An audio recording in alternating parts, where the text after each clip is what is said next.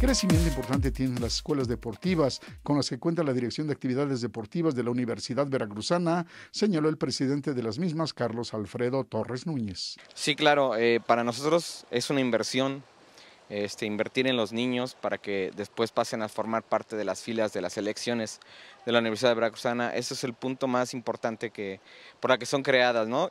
Muy aparte de que le damos una oportunidad al niño de en qué, qué poder ocupar su tiempo libre.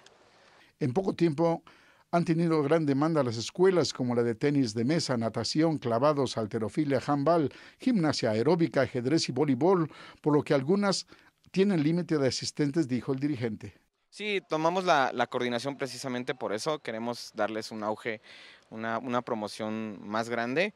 Eh, se han ido creando otros tipos de deportes. Eh, bueno, la universidad tiene muchos deportes, pero no, no todos tienen escuelita. Entonces estamos tratando de crear estas escuelitas. Nos es difícil, sobre todo por los espacios, que son muy reducidos y se ocupan los espacios de la Universidad Veracruzana, tanto para las elecciones como para las escuelitas. Por eso es que también tiene mucha, mucha promoción y tiene mucha demanda, precisamente porque eh, ocupamos las, las, las, instalaciones y los materiales humanos y, deportivos que, que cuenta la Dirección de Actividades Deportivas.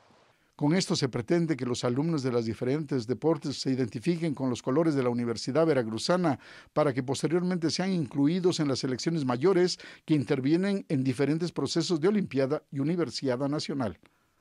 Para RTV Más Deportes, Carlos Serrano Bazán.